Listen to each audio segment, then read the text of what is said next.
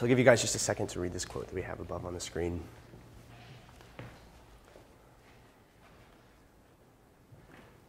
I think that um, in a lot of ways you could say the issues that are raised in David Orr's um, statement are kind of the thrust behind our research project, um, and that is the displacement, um, detachment in society today between people and the physical spaces that we inhabit. Um, in adolescence, you see this particularly in the use of video games and TV and computers after school. Um, in terms of food consumption, you see it with uh, food traveling thousands of miles to get to their plates, um, oftentimes being so processed so as to be kind of unrecognizable um, from the ingredients that were originally put in it. Um, so a number of kind of issues are being, a number of um, kind of, th- this issue is being addressed uh, in a number of ways um, in American society today, and one of those is schoolyard gardens. Um, so good afternoon, I'm Sam. I'm Erin. I'm Libby. I'm Katie. And we are um, Wellness and Gardening, creating an after school club at Burnley Moran.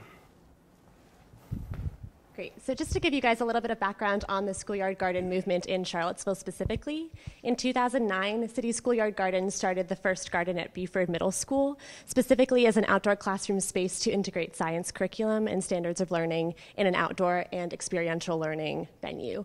Um, Within a couple of years, Charlottesville City Schools, um, specifically the school board, noticed the positive impacts that the schoolyard garden was having on both the school and the students and challenged City Schoolyard Garden to establish a garden in each Charlottesville City school.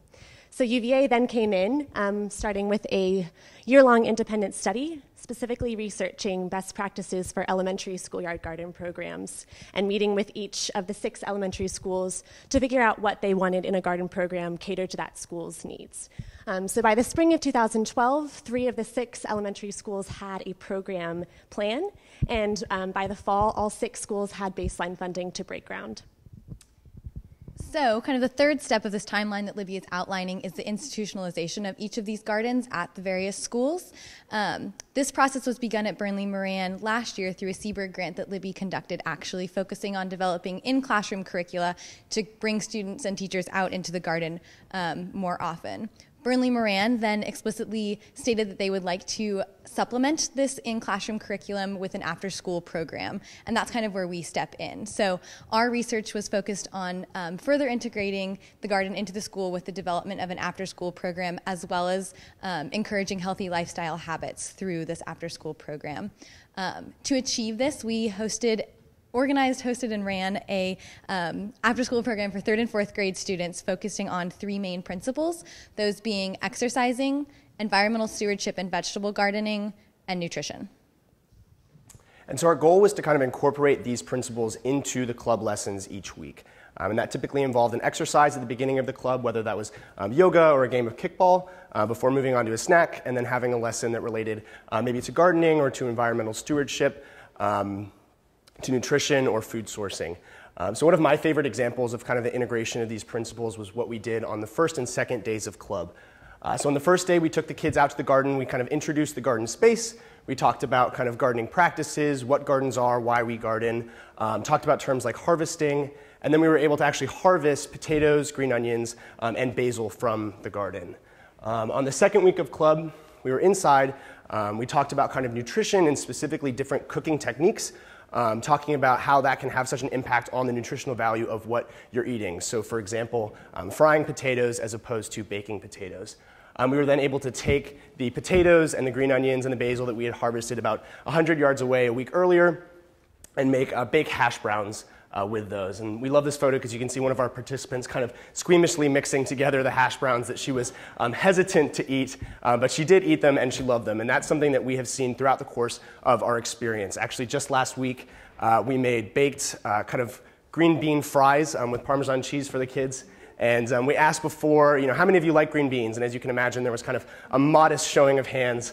Uh, but after trying the green bean fries that we made, um, I think everyone that tried it said that they liked them. So just kind of introducing um, kind of more appetizing ways to cook these foods uh, is something that we've been focusing on.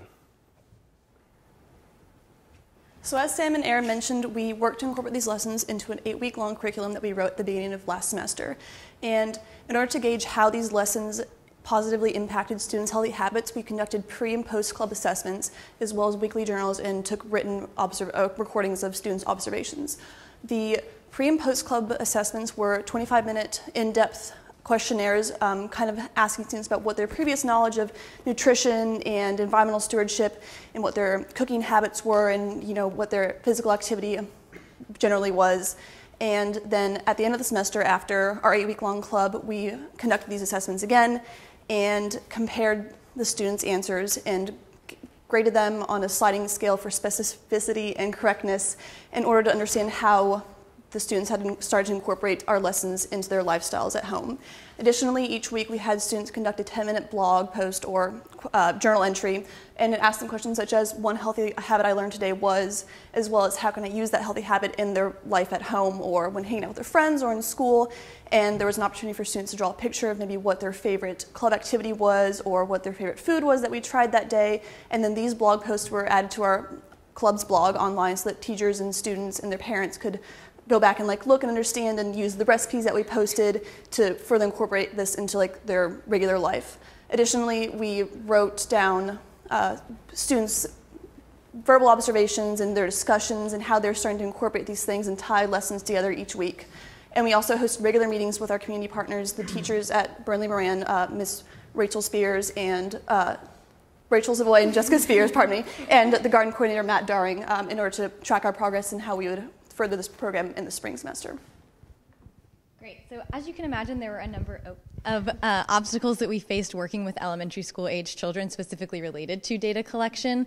Um, as well, the scope of our project was only one year long, but we are hoping to track these lifestyle habits, and so that added a level of difficulty as well. That being said, our research indicates positive student and teacher responses to this club and highlights its potential, highlights the potential of the garden space um, as a tool to inspire healthy lifestyle habits. Um, so to date, we have accomplished all four of our outlined goals, um, being one, to increase student interaction with the garden, two, to um, further integrate the garden into the school's infrastructure through the development of this after school program, and then to actually write the curriculum and run the club. So, speaking a little bit more to our qualitative and quantitative data, um, as Katie mentioned, we conducted pre and post assessments, and we saw an increase of 8% in the individual average scores in those assessments, highlighting um, an increased knowledge um, about the subjects that we had taught throughout the semester. As well, we saw um, students using examples and vocabulary from lessons in their journal entries um, or in the written observations that Katie mentioned. Um, students also brought home a lot of recipes to their parents, and they would note that in the questions that we just showed on the board. As well, we had a lot of kids come into the club as uh, picky eaters, if you will. Like Sam mentioned, we really encourage students to try new foods during snacks. And kind of our biggest success story with this was one of our students last semester was incredibly picky. Um, but we took a field trip to Red Hill Farm, which is just a couple minutes away. Um, and he actually tried a cherry tomato off the vine there and loved it, despite his initial hesitation. Um, and lastly, we saw students drawing a lot of connections between club lessons and what we were doing and their outside activities. So we saw students bringing um, vocabulary from standard of learnings in the classroom to club days. We did a whole skit about food miles one day, and students were talking about consumers and producers. As well, we saw students taking lessons from the club into other areas. So the same student actually was interviewed by NBC 29 for Burnley Moran's Farm to Table Week. Um, and he used a, a quote almost exactly from the skit in his interview, which was really neat to see that connection.